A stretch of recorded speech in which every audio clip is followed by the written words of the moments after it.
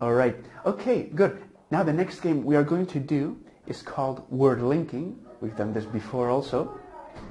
A person says a word, the next person has to say another word starting with the last letter of the previous word, and so on. For example, banana, apple, uh, elephant, and so on. You know, with the last letter of the previous word.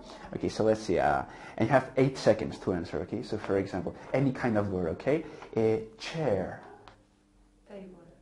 Table. So careful because chair ends with an R.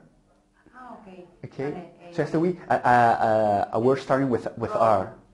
road. Road. Okay, with a D.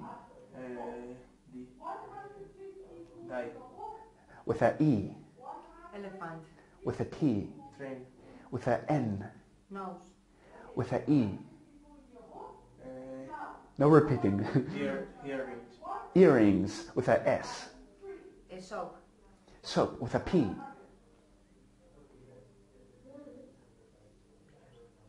uh, Pear. Very good. With a R. Eh, rice. With a E. elephant you can you can look up uh, English English. With a H. House. With a E. exit Ex- With a T.